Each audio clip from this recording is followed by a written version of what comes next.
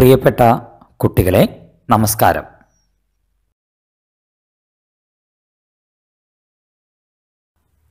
ഇന്ന് നാം പഠിക്കാൻ പോകുന്നത് മലയാളത്തിലെ ഏറ്റവും പ്രസിദ്ധിയാർജിച്ച കവികളിൽ ഒരാളായ ഇടശ്ശേരി ഗോവിന്ദൻ നായർ രചിച്ച ത്രിവിക്രമന് മുമ്പിൽ എന്ന കൃതിയിൽ നിന്നെടുത്ത അതേ പ്രാർത്ഥന എന്ന് പറയുന്ന കവിതാഭാഗമാണ്.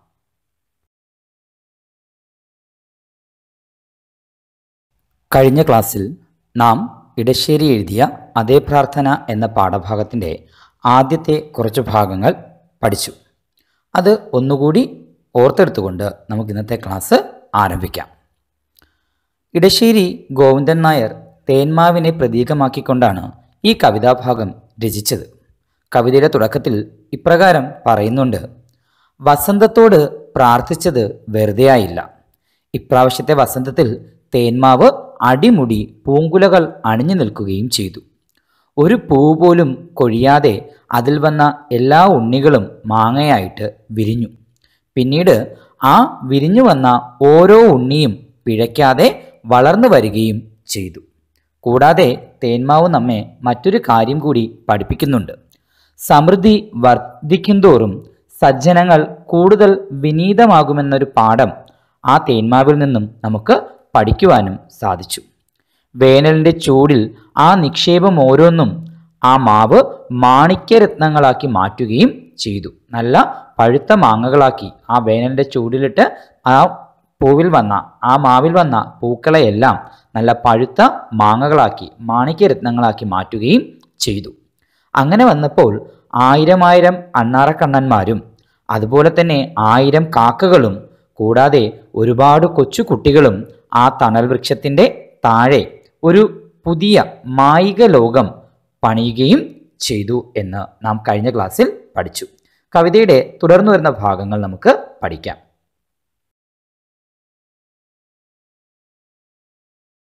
അയൽപാതവക്കത്തന്ന് വഴിപ്പണിക്കുടച്ചിട്ടോരുരുളൻ കല്ലുകൾക്കൊക്കെ ചിറകും വന്നു.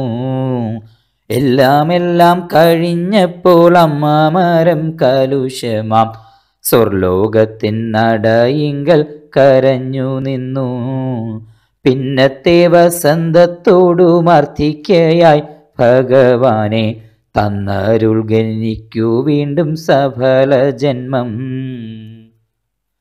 വേറെന്തുള്ളു വരമെങ്കൽ ദേവനാക്രോശിച്ചു സാധു. വേദനയ്ക്കു വേണ്ടി താനോ ചോദിപ്പു വീണ്ടും. പരിസ്പൂരൽ പ്രഭാതാംശു പതിയും പല്ലവം മെല്ലെ ചലിക്കുമാറാമാഗന്ധം മൊഴിഞ്ഞി ദേവം. സമൃദ്ധിതൻ കണ്ണീരത്ര പൂളിച്ചാലും വരം അയ്യോ ദരിദ്രന്റെ മരവിപ്പാണ സഹനീയം.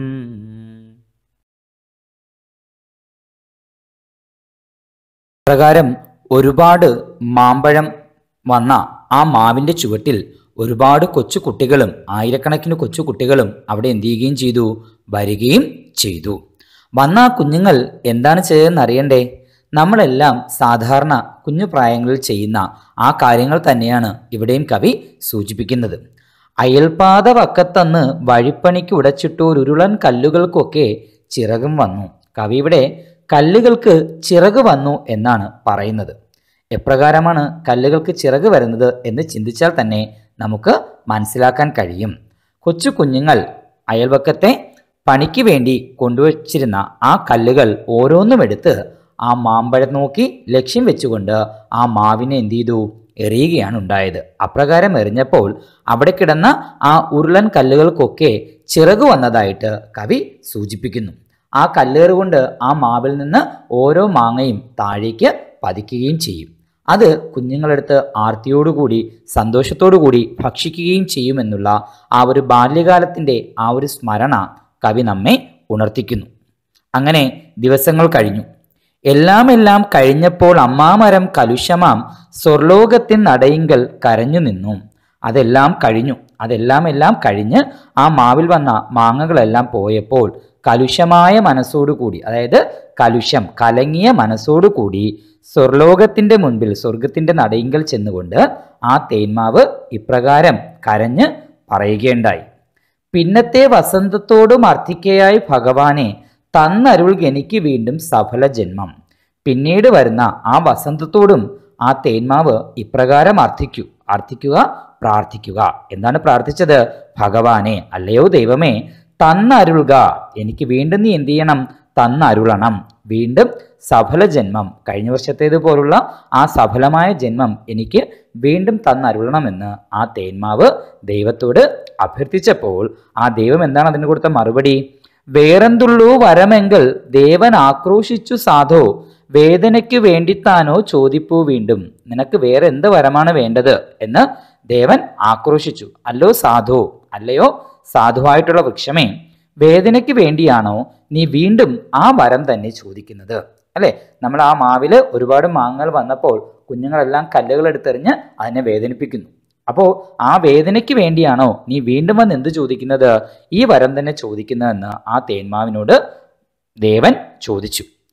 പരിസ്ഫുരൽ പ്രഭാതാംശു പതിയും പല്ലവം മെല്ലെ ചലിക്കുമാറാം ആഗന്ധം മൊഴിഞ്ഞി ദൈവം പരിസ്ഫുരൽ അതായത് ഉദിച്ചുയരുന്ന പ്രഭാതാംശു പ്രഭാതത്തിന്റെ കിരണങ്ങൾ പതിയുന്ന അതിന്റെ പല്ലവം തളിരില മെല്ലെ സാവധാനത്തിൽ ചലിപ്പിച്ചുകൊണ്ട് ആ മാഗന്ധം തേന്മാവ് ഇപ്രകാരം മൊഴിഞ്ഞു.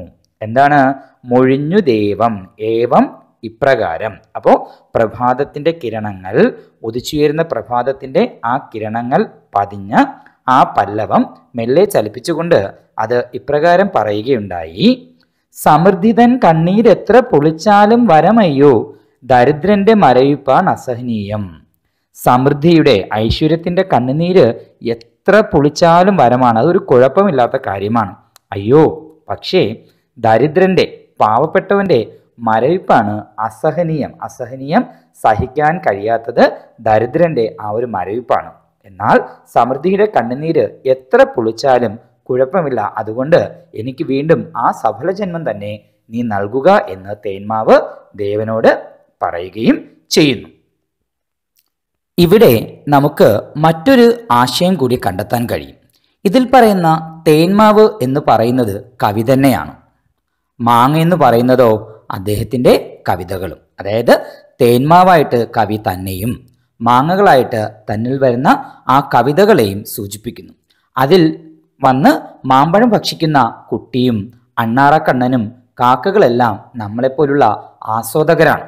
അവർ അതിൽ ചിലർ എന്ത് ചെയ്യുന്നു വായിച്ചിട്ട് ഉരുളൻ കല്ലുകൾ കവിക്ക് നേരെ പ്രവേശി പ്രയോഗിക്കുന്നു. അതായത് വിമർശനങ്ങൾ നെയ്യുകയും എറിയുകയും ചെയ്യുന്നു. അല്ലേ? ഇപ്പം നമ്മളൊരു കവിത വായിച്ചിട്ട് ആ കവിതയിൽ വരുന്ന നല്ലതും മോശമായിട്ടുമുള്ള കാര്യങ്ങളെല്ലാം വിമർശനങ്ങൾ കവിയുടെ നേരെ ഉരുളൻ കല്ലുകളായിട്ട് പ്രയോഗിക്കുകയും ചെയ്യുന്നു. പക്ഷേ എത്രത്തോളം ഏറിക്കൊണ്ടാലും അതെല്ലാം തന്റെ സമൃദ്ധിക്ക് വേണ്ടിയാണ് തന്റെ ഐശ്വര്യത്തിന് വേണ്ടിയാണെന്ന് ചിന്തിച്ചുകൊണ്ട് കവി വീണ്ടും വീണ്ടും തന്റെ രചനയുടെ ലോകത്ത് മുഴുകുകയാണ് ചെയ്യുന്നത് എന്നുള്ള ഒരു അർത്ഥതലം കൂടി നമുക്ക് ഈ കവിതയിൽ നിന്ന് മനസ്സിലാക്കിയെടുക്കുവാൻ സാധിക്കും.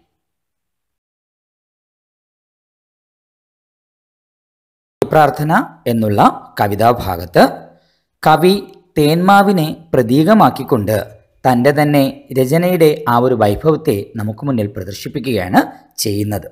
അപ്പോൾ ഇവിടെ തേന്മാവായിട്ട് കവി തന്നെ പ്രത്യക്ഷപ്പെട്ടുകൊണ്ട് അതിൽ വിരിയുന്ന മാങ്ങകളായിട്ട് തന്റെ കവിതകളെയും സൂചിപ്പിക്കുന്നു. കൂടാതെ തന്റെ കവിത വായിക്കുന്ന ആസ്വാദകരെയും തനിക്ക് നേരെ വിമർശനങ്ങൾ ചെയ്യുന്നവരെയും എല്ലാം കവി ഇതിനകത്ത് പറയുന്നുമുണ്ട്.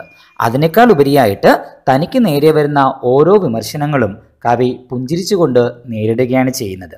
നമ്മളെപ്പോഴും പറയാറുണ്ടല്ലോ എന്തെല്ലാം വേദന സഹിച്ചാലും എന്ത് എവിടെ നിന്നെല്ലാം കുറ്റപ്പെടുത്തലുകൾ നമുക്കുണ്ടായാലും അത് തരണം ചെയ്ത് മുന്നോട്ട് പോകുവാൻ നമ്മെക്കൊണ്ട് സാധിക്കണമെന്നുള്ള ആ ഒരു അർത്ഥതലം കൂടി കവി നമുക്ക് ഈ കവിതയിൽ മനസ്സിലാക്കി തരുന്നു.